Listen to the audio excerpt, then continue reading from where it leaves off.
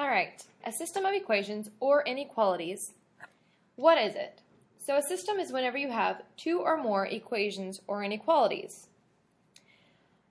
Whenever you're trying to find the solutions of a system, there's three different things that could happen. So, the first thing that could happen is you have exactly one solution. So how that would look is, if you had one graph So you had one line right there, and then you had another line that intersects it anywhere. That intersection point would be the one solution. It's wherever they are equal.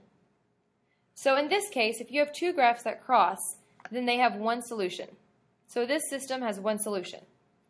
In another case, you could end up with zero solutions. The only way that this could happen in a system of equations is whenever you have one line and you have another line, but they're running totally parallel. Because if you see them, they're never, ever, ever going to cross because they're parallel forever. So they will never intersect and form a solution. The last case that you could have is when you have infinite solutions. The only time this could happen is whenever you have a line and your other line has to fall completely on top of it.